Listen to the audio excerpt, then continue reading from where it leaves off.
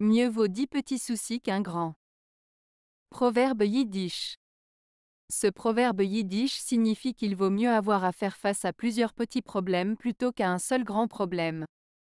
Les petits soucis sont plus faciles à gérer et peuvent être résolus plus rapidement, tandis qu'un grand problème peut sembler écrasant et mettre plus de temps à être résolu.